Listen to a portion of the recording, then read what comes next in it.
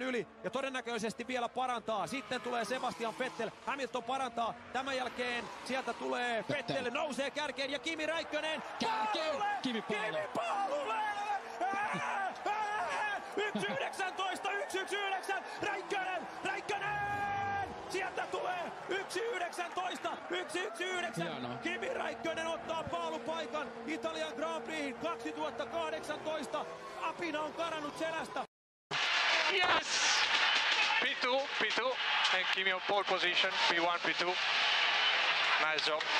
We speak after. Kimi, you are on pole. Thank you.